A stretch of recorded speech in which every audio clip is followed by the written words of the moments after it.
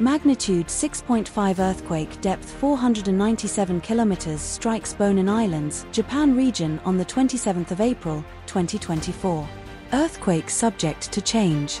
The Bonin Islands, also known as the Ogasawara Islands, is a Japanese archipelago of over 30 subtropical and tropical islands located around 1,000 kilometers, 620 miles, SSE of Tokyo and 1,600 kilometers, 1,000 miles, northwest of Guam.